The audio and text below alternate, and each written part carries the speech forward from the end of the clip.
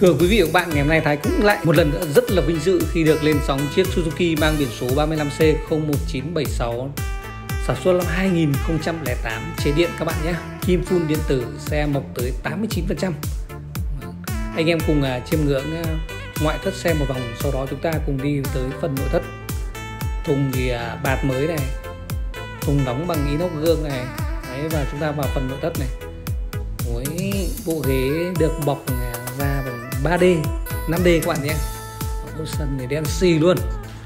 Zin à, căng đét Đấy, keo chỉ không mất một phần nào. Anh em nghĩ chiêm ngưỡng này quạt gió quạt thì, uh, nội thất theo xe thì vẫn zin. Mà bây giờ chúng ta đi tới cái phần bưởng hậu của chiếc xe 35C 1976 em sẽ mở luôn phần thùng cho các bác cùng xem. À, thưa quý vị và bạn chiếc xe đã được lót thùng bằng inox rồi nhé.